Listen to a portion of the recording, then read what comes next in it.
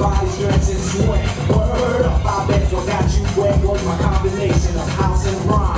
I'm in effect and I get to witness one that can outdo mine. Do what you want to name of this game. Say the story, rap and dance. Dozy dozy your partner. And let know that you want her. Just grab a hunger and tell her something by the way that you're moving. Dig, forget the picture and want a picture and take it back to her crib. So just